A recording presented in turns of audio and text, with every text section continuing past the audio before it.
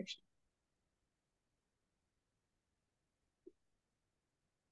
All right, so we are going to talk today about SEO and AI. Specifically, we're going to talk about how the emergence of AI has kind of uh, changed the way that SEO works, both in terms of uh, functionality, um, but also in the ways that we can work with SEO. So without further ado, we'll go ahead and jump into it. My name is Jen McFarland, and I uh, run a consulting group called Marit Digital that tries to help with your digital solutions for your small business and team. And we're going to talk about, uh, you know, a, a brief cross section of why this is important right now. Uh, we'll go through a little bit of SEO basics. We'll talk about who runs the world of search. Um, and then this question that some people sort of have, which is, am I training my replacement? Is there just a world of AI out there that's that's being created? Um, we'll eventually get to a point where we're starting to look ahead. Uh, and maybe this is uh, the question that we should start with, but does SEO matter anymore is where we will wrap up. So when we look at the data, uh, we find that uh, we're talking about this because AI is such a significant uh, and, uh, and overwhelming impact on uh, our productivity. So when we take a look at this, 158% is uh, how much more productive users find that they are when they're using ChatGPT instead of Google. Um, and this is measured in the number of uh, tasks or questions that they're able to complete per hour when they're doing a search with search uh, with Google versus with AI. Um, but this is a cross section. Uh, 158% is sort of where it tops out. That's more than two and a half times more effective. But even if you're using, uh, you know, AI for something like programming, uh, it's at 126% increase for those using like GitHub Copilot, for example. So the impact of AI across the board is higher productivity. But beyond that, users uh, who use ChatGPT, for an example, prefer that to Google. So they find the information quality, the ease of use, uh, the enjoyment. Key among this, the enjoyment is a whole 1.3 points greater on ChatGPT versus Google. Um, so what we're finding is that uh, at least for now, it might be novelty, but people prefer using ChatGPT. They get better answers and they get them faster. So if we're going to recap SEO a little bit, um, SEO stands for search engine optimization, which is our uh, efforts to increase a website's traffic via search results. That is to say that if somebody searches, that they wind up at your site organically uh, as opposed to through ads or other links. Um, so organic search results are non-paid. We use keywords to represent the content on our site, and it's important that we do some keyword research, um, maybe consider the ranking of different keywords to establish which ones are the best used for our site to draw traffic. Now, SERPs are the acronym for the search engine result pages. And this is something that's evolved quite a bit over the last a few years, but especially in the last year. So this is essentially what we see when we do a search in Google, the results from that query. Um, and in the last year or two, couple of years, there's been a number of things that Google specifically has done to um, sort of jazz up that search and landing page. Um, in uh, in specific, there are videos. They've started to include tweets, which I think they've pulled back from more recently. Uh, and then there's snippets, which are these Google forwarded, uh, formatted search results that often include the common questions that go with our search query, um, and then the, the sort of subsequent questions that may arise. Um, and so this is what we've been seeing more and more on our search landing pages. And of course, now we're starting to move into a world where uh, generative AI responses are part of that result as well. So this SGE stands for the delivery search generative experience, which is the delivery of uh, the AI overviews of results. Um, so, you know, this is kind of what it would look like. Uh, it, when it started out, Google was only releasing this kind of result um, for those who had opted in. And that was about a year ago that that first began to be deployed, but very limited uh, for, for a very limited audience. For example, for a long time, those who had Google Workspace uh, were not able to see these kinds of results. Um, now it's pretty ubiquitous. I think you may have to opt out to avoid it at this point. Uh, but there are a few things that we want to highlight about this. One is this is a very different look from that SERP sort of demo that we showed that had you know maps and tweets and the little you know blurbs and uh, extensions that uh, showed up before. And, and so you see there are no ads here. There's really just essentially the answers. Um, and it's taken up a lot of space, right? You're, you're definitely going to have to scroll before you get to anything else, including search results. So this really represents a pretty significant shift away from the past sort of Google traditional results. Obviously, I've been talking a lot about Google. So the answer for who runs search to some extent is Google. Um, we are all familiar, I believe, with Google Chrome, which is the Google browser, uh, and then Google Analytics, which is the most popular tracking tool. The Google Search Console is a supplementary tool that can help uh, help you understand how the keywords that you're using result in people visiting your site. And then Google Ads, if you are paying for uh, for placement in Google search results, you're going to work through Google Ads. So really, they have evolved kind of a lockdown on this whole process between uh, how you're browsing the internet, how they're evaluating what you're doing on there, and then how uh, the, the payment results in where people go to. So it's uh, they they really got this on lockdown. In fact, 84% of sites that use some kind of traffic analytics tools use Google Analytics. So uh, again, I don't think there's any organization in the world that has more data on how people are using the internet. So to that point, um, Google uh, and AI, there seems like there would be a lot of potential here. Um, AI uh, has been around for longer than just you know since November of 2022 when uh, ChatGPT came out, and and a lot of the early use cases are uh, again things like you know autofill and uh, and also in search, and so returning uh, the search algorithm is powered by AI auto filling. So when you start to type in your search and it sort of uh, suggests future words that you might want to fill in, obviously that's AI powered. So Google has been uh, deep into AI for a long time. Um, they were a developer of Google Lens and Google Translate, which were two of their other technologies um, that that were built with early AI and they uh, pioneered the concept of attention is all you need, which is actually the core behind uh, the sort of chat GPT generative AI models where it allows more success in the results because it's focusing on the uh, key portions, the transformative portions of the prompt uh, and resulting in better responses. So they did a lot of focus on search, a lot of research on search, but what we saw from what Google learned is, uh, uh I'm sorry, uh, search on AI, but what they learned from it seemed to be directly uh, put back into how search functions and not necessarily pushed into this new frontier. So Google is actually kind of in a tough spot now. They're struggling to catch up with other AI companies. Uh, they originally re released Bard, which had uh, lackluster performance, and Gemini, which has replaced it, has kind of had many of the similar problems, in part because Google is a very popular product, um, and people I think have uh, have really been keeping an eye on what it's doing. So things like this, where uh, people have been prompting Gemini with uh, examples and then receiving these sort of um, uh, highly diverse ahistorical responses has gotten a lot of attention. Um, although I will say this is another example. This is, in case you can't read the captions, uh, examples of professional American football players, none of which are women, of course. Um, and then uh, a group of American people in American colonial times, none of which were Asian American, and then founding fathers. And uh, this actually, these this result comes from Meta and not from uh, Gemini, but people aren't talking about Meta's flaws because they're not they don't have the expectations for Meta that they seem to have for Google.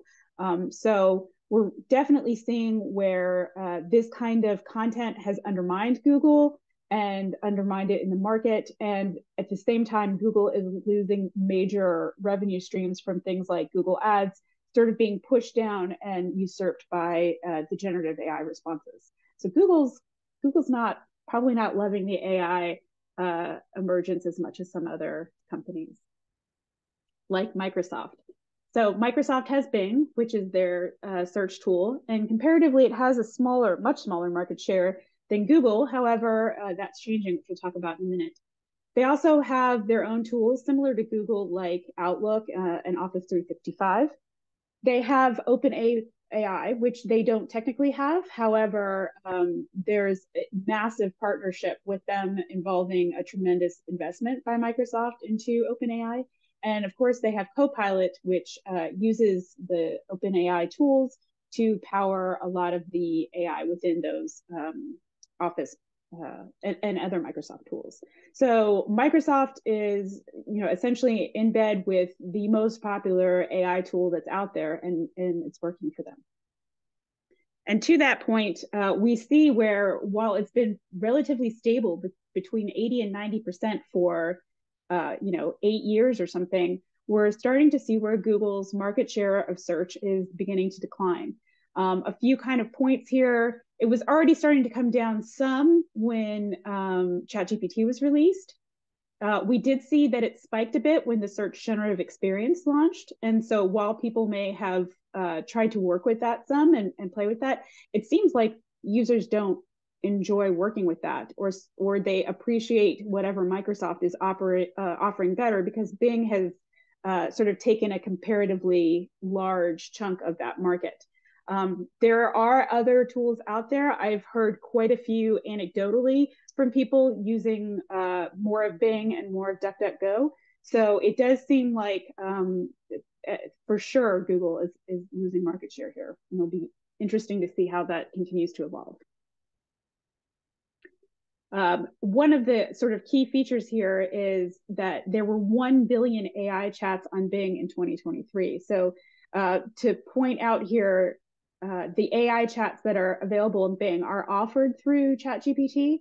So for a while, especially uh, when OpenAI was kind of struggling with, um, you know, uh, leveraging the tools and, and beginning to uh, reach more users, for a while, this was the only way to connect with ChatGPT or, or to talk to it um, or to use the GPT-4 was to use it through Bing's interface. And so there were a lot of users who prompted it with the things that they needed throughout uh, th- throughout their day, but just using it on Bing.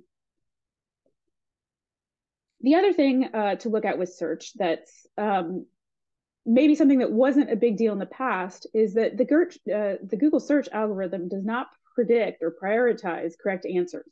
Um, and it never has, but we didn't care before. I think there's certainly been sort of uh, both a focus and a reprioritization of accuracy and the responses that we get.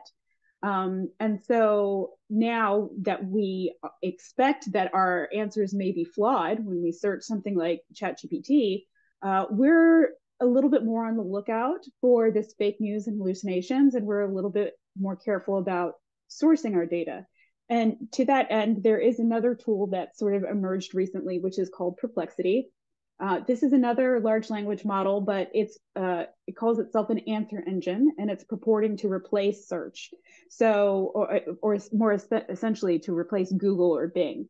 The idea being that your experience with search should be something like you go into this large language model, or more accurately, maybe their extension. You do your search, you get a short, very simple response um, which is very counter to what you get from a, a chat GPT, for example, which tends to be super wordy.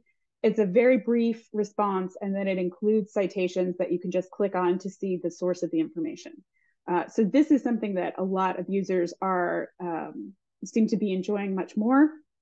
I would be really curious to see that previous chart that looks uh, at search not just through something like Google and Bing, but also tried to see what market share Perplexity was starting to fill. So one of the questions, by the way, how's everybody doing? you still hanging in there? Yeah. Great. Yep, all good. Thanks. Um, so one of the things that uh, occasionally I hear from folks is sort of this question of, uh, am I training my replacement? Am I putting all this information out there on the web that they're just going to suck up and train the AIs with? Uh, and that's a very fair question. Uh, web crawlers have always been used by search companies like Google, um, but now they're also, and they have also been being used by OpenAI and other tools to train LLMs. We just weren't really aware of it, but now we are. Um, so at, at this point, again, to reiterate, most of the training for uh, most large language models has just come from information that's been scraped from the web and just fed directly into these giant models.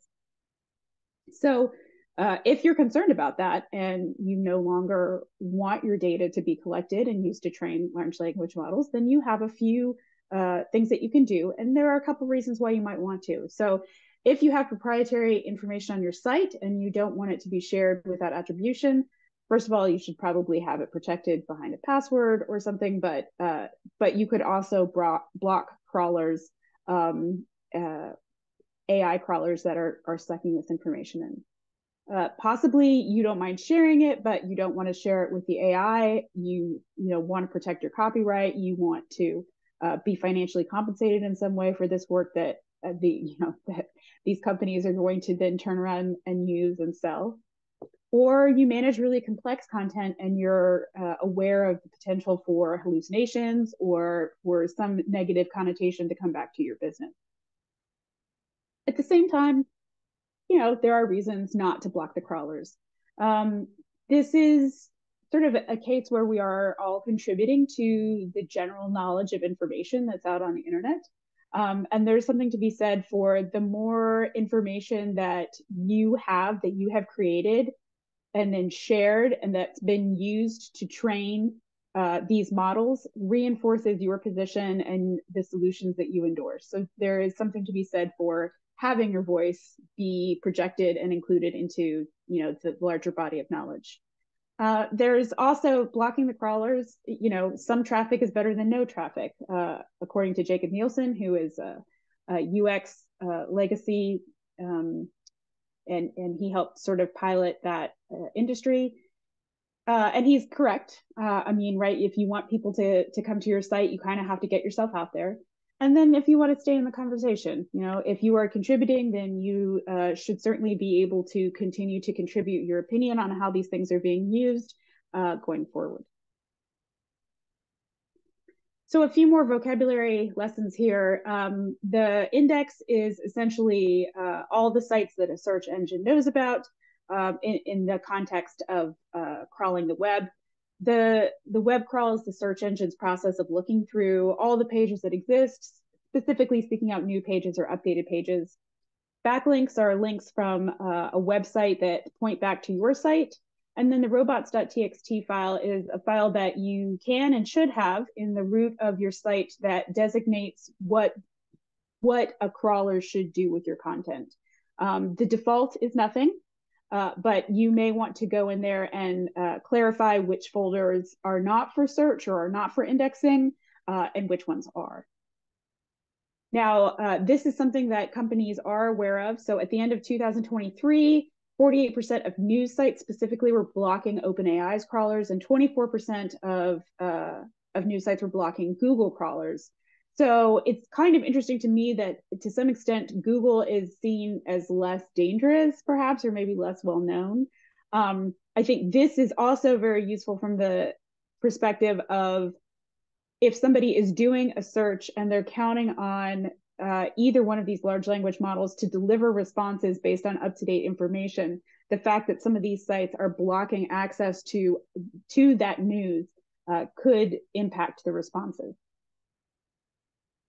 So uh, if you're thinking about blocking access to your content, there are some things to consider. Uh, the first one is that for anything that's already on the web, you're probably too late. If you don't have a robots file in place, chances are at some point it, your site may have already been indexed by a uh, large language model of some kind. And there is no way to take back your content or to have a model forget what it's been trained on. So uh, again, if you're not familiar with this concept, the you know the information for from a very vague description is kind of sucked in there, and and then it's contributed to the larger body of knowledge, and there's no pulling out that specific content. Uh, most websites, uh, especially those for big tech and online resources, you've probably already agreed through whatever privacy policy or user agreement to have your data train the AI not in every case, but in a lot of cases. Um, I, in particular, would keep an eye on uh, things like Zoom and some other tools that uh, might be collecting uh, transcripts or other uh, content to review. Some tools will not let you opt out. And this is particularly the case for things that are like free tools. So Microsoft Copilot, if you are using that as far as I understand it, there's no way to say no to Copilot in terms of it's collecting that information and training. Uh, this is a link here, and the resources will be available at the end for a recent list of sites that will help you to identify what policies are in place and where you can opt out. So that can be extremely helpful if you do want to go through this process. And if you want to try and find another way around this, something like rate limiting can restrict requests for uh, a page from a single user or a tool, uh, and that can help to mitigate the situation. If you want to entirely block your site, you want to use your robots.txt file. Again, this goes in the root of your folder, so it should you know, basically be at your URL slash robots.txt. And you're going to be establishing rules uh, that will limit or restrict access by user agents. Um, and so it's going to look something, oh, right, a few defaults. The default is that everything is available to crawl the whole site. Uh, and this is notable. The search generative experience that we demoed earlier that is showing up, if you block that, you are going to block Google entirely. So you will no longer show up in Google search results, um, which is a fairly uh, conniving little way of requiring that you kind of keep that open. So again, here's kind of a model of what this might look like. If you wanted to block Google, uh, you could do that specifically. I've disallowed the archive folder and the images folder from being searched. Um, and you can also uh, do a star to cover all user agents. And um, essentially, these two lines, the fourth and fifth ones here, are allowing all user agents to access everything in the directory, which is the default anyway. But these are some examples of uh, sort of the structure. The other thing that's a good idea to have is a sitemap which will allow you to, uh, you know, compile a list and organize all of your content so that the search engine uses that to understand um, what information you have and, and what kind of information it is. So if we look into the future, um, there is this scenario that plenty of people have um, have considered and are afraid of, which is that the world uh, of the internet is really just AI generated content, right? And this is done by um, more and more people are using AI to write their content, particularly marketing content, which is what goes on the web, which is what's searched and what's returned in search results and is what we read, and then is what the AI subsequently trains on. And then it just creates more and more AI generated content. And eventually everything on the web is crap. Uh, so, I mean, is is this going to happen? Uh, how much are people worried about this? Um, Google's certainly worried about it. They are doing some things to uh, better understand the intent of search and deliver better responses.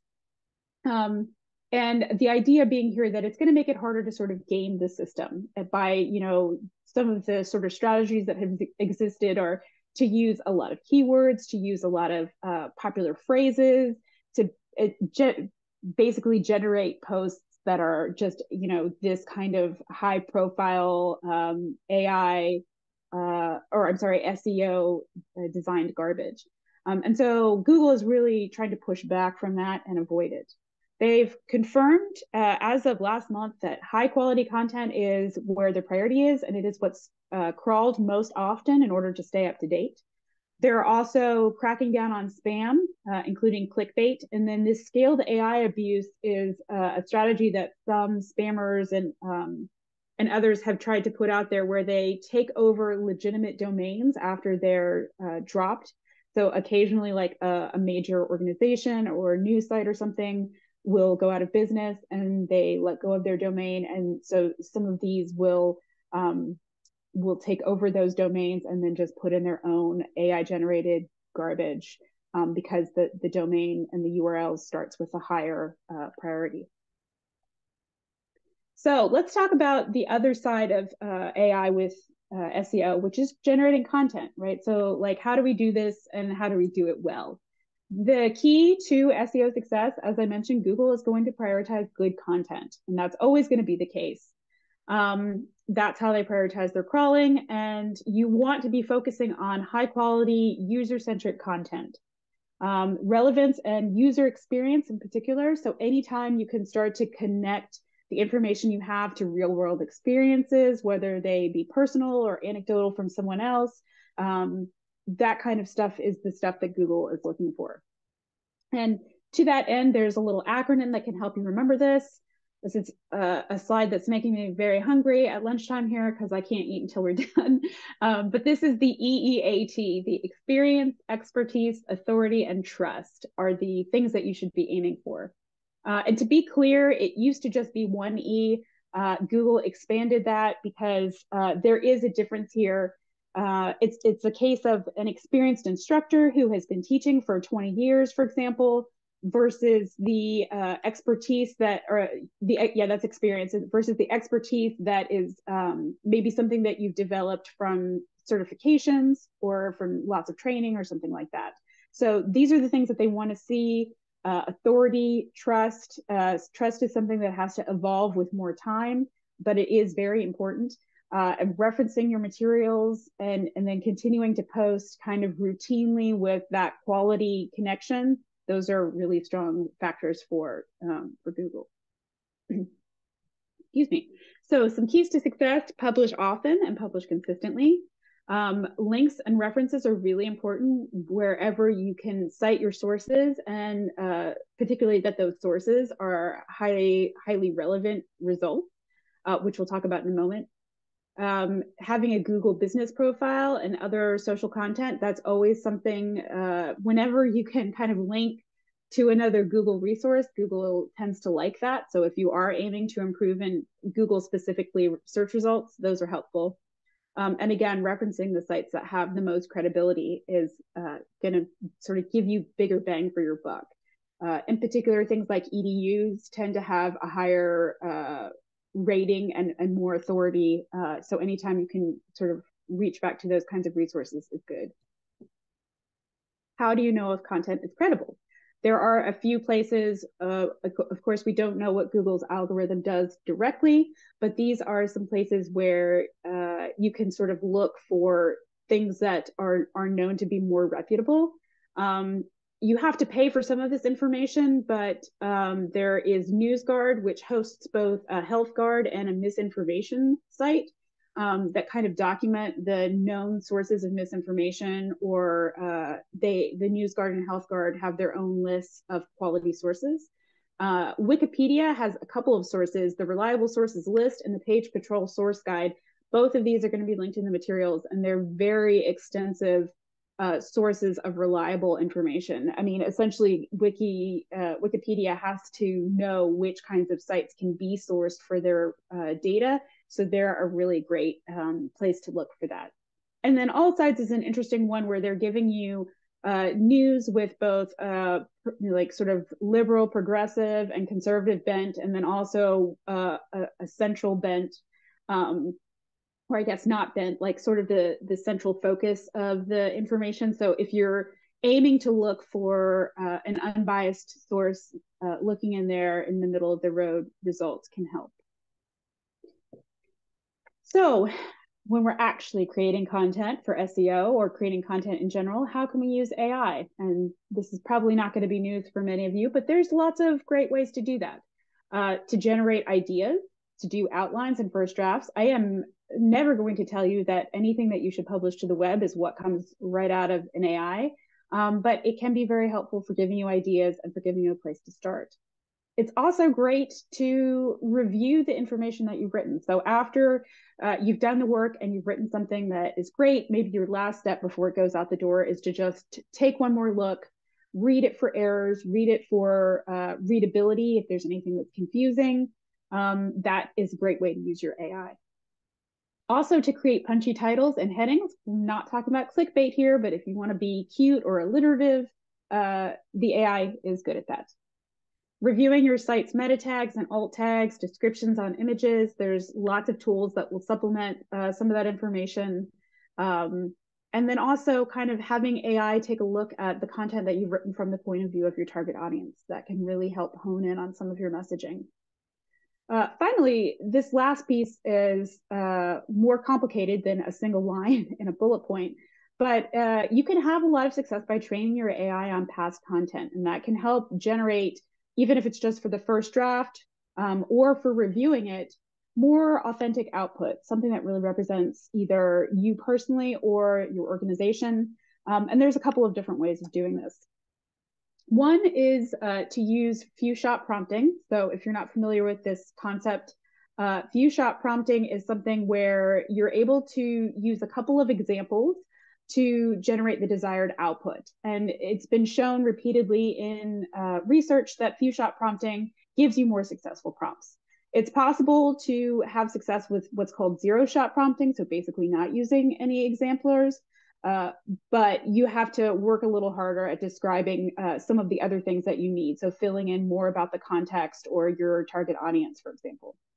Uh, to that end, something like the retrieval uh, RAG, retrieval augmented generation, this is sort of a, a, way of using few shot, but instead of necessarily providing those examples in your prompt, you're able to reference a separate database or resource that has those examples in them. So in this case, it would uh, allow you to have like an LLM that has sort of this side uh, side knowledge or side input that uh, each prompt can go through to sort of be informed of how uh, you want the output to look. Um, and that's great. Obviously, it's uh, more challenging to achieve. There's more uh, technical setup for that. Uh, and these days, it's kind of less necessary because uh, more and more of the latest LLMs are uh, being established with these large context windows. And context windows are essentially the number of tokens that. Um... oh, hi there, Thomas. Welcome. Oh, sorry. Hello. I didn't realize Hi. I was unmuted. That's okay. Um, so yeah, the context window is going to allow a, a large language model to work with a larger uh, context of information.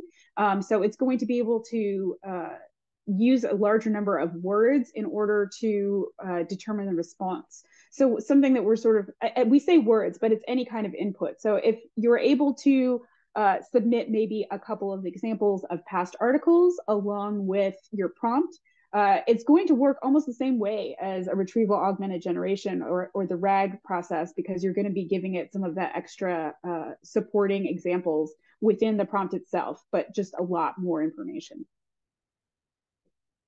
So another way that AI is going to uh, be really powerful tool with SEO is in keyword strategy. Um, so again, keywords are important because you want to identify the keywords that your users are using to find you. Uh, you want to include those in your content, ideally more organically than just stuffing them in all of your information. Um, but then the next step beyond that is uh, being more strategic with your keywords. So looking for outliers. What are some keywords that um, that people are using that you're not really thinking of? And there's a few ways to find those. Um, one is to sort of consider how people search. So more and more people are searching um, with uh, with recording. So they're speaking into their phone or something like that in order to do the search, or if they're speaking to Alexa, for example, and they might be combining multiple concepts or doing something in a question. Uh, uh, so some different phrasing that maybe you haven't looked for from your keywords in the past. So that's one way to look. Um, the other thing to consider is that the higher the search volume, so the more popular the keyword, the harder it's going to be to be successful in the results for that. So a lot of times what we want to be looking for are the less competitive keywords um, or what's called long tail keywords. Those are ones that are more like a phrase. Um, so there, there's a little bit more to them. Uh, and then the other thing is just to seek out emerging keywords in your industry. And this too is a place where AI is really good at finding these uh, because it has access to so much information and it can process it so quickly. Uh, prompting with AI can often return things that maybe haven't resulted in like you know news or information that's you know written or publicly available, but the AI can say, hey, you know, we're seeing more people searching uh, for this term around your industry. Maybe target that because it's an emerging kind of keyword that's not being uh, heavily targeted yet. So some other strategies here, uh, I already talked about these long tail and emerging keywords, and then ask the AI. So basically say, acting as an expert on SEO, can you take a look at this page and tell me how I can improve? Um, so here is the prompt that I used in this case, pretend you're a search tool and provide an analysis of maritdigital.com. Um, and it's gonna come back and it says, I'm acting as this. Here are some things you can do for your title in meta. It's succinct, but you could use more keywords in it. Your content quality is a basic uh, overview, but it could be enriched with more detailed descriptions or case studies or testimonials. So here's some information. Maybe I take this and make some updates. Maybe I don't, but these are some helpful insights at a minimum to confirm that it's you know providing this information and that the uh, tool can take it in. I do want to mention that not all of the rules have changed with respect to SEO. The things that were important continue to be important. Um, you should certainly have headings built correctly on your site where you go from H1 to H6 and they're nested correctly. Um, you do want to, again, be including keywords throughout your content. Have a meta description, have descriptive URLs, uh, use um, alt tags on your images. Uh, make sure that your site is secure and that you know you're resolving at HTTPS. Um, and then you want to make sure that your Google Search Console is up to date and that you're delivering your site um, promptly and uh, that you're meeting all the sort of uh, experience and core web vitals that uh, Google requires because those will ding your ding you in the results. The other thing that hasn't really changed is local SEO. Uh, I think that uh, while we have a tendency to divert to AI for search uh, in a lot of cases, when the time comes to search for something locally, I think our def- default is still to go to Google. Um, it's been over 20 years or over 10 years since uh, Google sort of pioneered this near me concept. And it's really uh, something that's part of the lexicon where that's how we search for things. And our tendency is to go to Google for those results. In particular, um, things like your business showing up, that's uh, uh if it's in your community, that's going to be something that is really um, going to be tied to the results. And uh, for a lot of us, we have business profiles that have information that we want to include. So uh, this is still something that you want to make sure that you're uh, completing and filling in and updating for uh, your business. So as we look ahead, what are some of the things that we can be doing, some of the things we should be aware of for SEO and AI?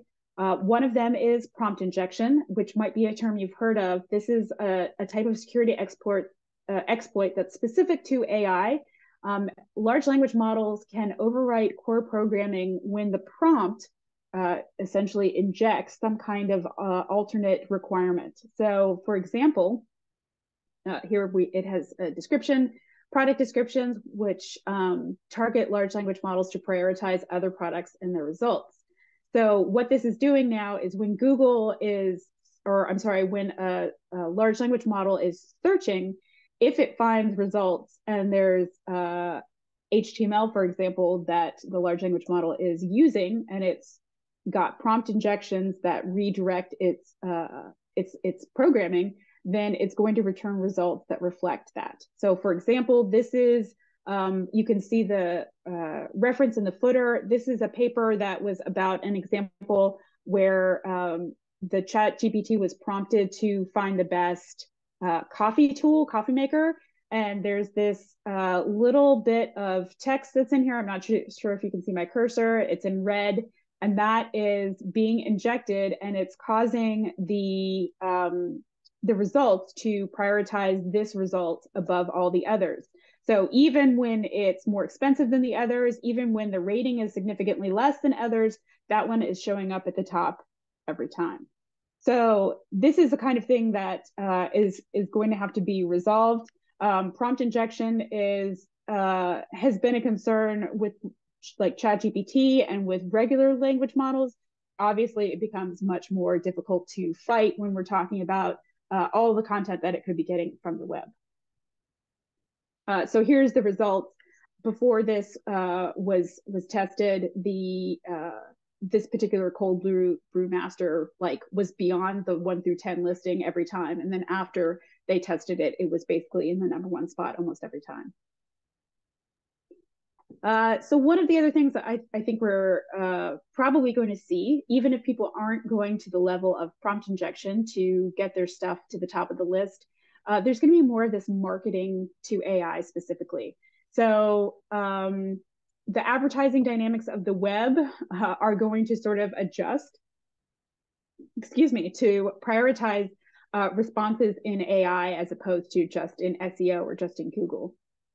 Um, and this is a, a, quote from the Perplexity AI founder. So um, this is again the answer machine that is uh, being created, and there he's saying that he's hoping that uh, there his tool is going to result in better relevance in the results and uh, the searches having more intent. Um, and he says, if I were an advertiser, I would focus on describing my content as my product as accurately as possible, so an LLM continues it considers it citation worthy. Uh, and again, that's something that's really more of a priority for him with Perplexity because they do citations for all of their responses. Uh, but I do think that he has a point in that um, there's so much concern around accuracy and hallucinations that the citation or the source of the information is something that all language models are going to have to be able to account for um, in the not too distant future. So I do think there's a couple things at play that are working against this, you know, proposed world where all content is crappy AI, um, because there there will be these tools that are getting better and better at reading and recognizing crummy AI, and they're not going to use that for their responses. So some strategies. Um, when you are seeking to improve your SEO, this is the time where you want to be considering AI as well as search. Um, if you're not already, you should be getting uh, getting into working with AI on a daily basis. Um, and if you work with content, AI is a great tool to help you create content. Should not do it for you, but be a partner in that process. Um, again, this is more of a challenge, but I think creating great content is going to be uh, something that's that's required. And so, trying to offer new insights, new data, new case studies, uh, extending the value of existing knowledge is where you're going to have the most success when you're creating content. Uh, you can still use AI to help evaluate trends. That's extremely popular and, and powerful. Uh, you can use it to help unearth data that maybe hasn't been written about or is that that's good for a case study. Um, pull information, comparative uh, analytics, that's very helpful. And then uh, experiment and continue to iterate on ideas to make things better. Share your prompts communicate. Also, don't forget about images. So uh, the AI tools are certainly uh, indexing graphics as well as text. Um, so consider both if you want to protect those uh, or if you want to continue to leave them out there. But if you're doing that, you should really be uh, describing them well and uh, and tagging them to, to relate them to the content. Large language models like Perplexity are linking to identifiable, reputable sources. Um, so if you're in an industry, um, perhaps one of the ways that you work towards sort of SEO in the future is to do a search on things that you know relate to your industry that maybe return results uh, from something like Perplexity that cite your competitors or cite other uh, other resources, and then look at those resources and know that those are the things that are being indexed and, and reference those yourself or try to reach that level of quality. And the best example, or, or, one of the best pieces of advice I can give really, is to make sure that you're using advanced models whenever you can. Um, they do cost more money, but you are going to get much better results, more information, and more cutting edge insights from those kinds of tools. A few more things here. Um, what concepts don't matter anymore? Uh, so one of the things that was uh, a discussion for a while was search quality. I think we've all been sort of trained in how we should search in Google. I think there was certainly a phase there where um, there was this conversation around discouraging writing questions into Google because that's not how you get the answer. You want to make sure that you're prompting on the words that are most important to you or, or things like that. It, it that doesn't work anymore, or I mean, it doesn't work with AI. You know, when you're working with a large language model, you're asking the question. It's natural language processing. So the more natural and detailed you can be with that, the better off you are. There's no constriction of space like you maybe are used to with a, a Google search. So the, how we search um, has certainly changed. The other thing that I, for one, am very curious about is the kinds of data that uh, not being tracked or probably is being tracked but isn't being shared with the public. So we're not really seeing much about what kind of queries are coming through AI, or even the most popular terms, or what references are being used in the responses. There's tons of information coming through, uh, you know, Chat GPT or all the GPTs. uh, even through Perplexity. And I would love to know more about how end users are using this information. Uh, and I'm curious to see if or when analytics are released for this, um, it, or, or, when the public pushes back enough to start to get insights in that. Uh, also, how do we continue to utilize AI and search together? When do I use AI versus when do I use search? What's the best scenario for each? So those are all things to kind of be thinking about going forward. And so our final sort of moment here is, does SEO still matter? And I will start by saying I would not have tried to teach this class if I didn't think it did. Um, but I think that we're definitely moving into sort of an era of SEO AI, SEAIO, so search engine and artificial intelligence, search engine artificial intelligence optimization. It, the acronym doesn't work. But the point is, uh, we want to be thinking about both of these things um, because this is going to continue to evolve together. So I'm sharing here a couple of resources. Um, a big thank you to Doc Chewbacca, who I uh, get all my graphics from on Flickr. Um, I'm going to point this, uh, leave this link and QR code up here so that you can get directly to the site. Um, I will point out that it has a link to the slides and also to a Notion page that has all of my resources, both for this and my basics of SEO class, if you would like to read through those. Uh, and it also has a link to an, a training assessment, which I would appreciate if you can provide your feedback on this class. Um, we have a few minutes left, so uh, who would like to jump in with questions or comments? I'd love to have a chat. I will stop recording. Sorry, go ahead, Eric.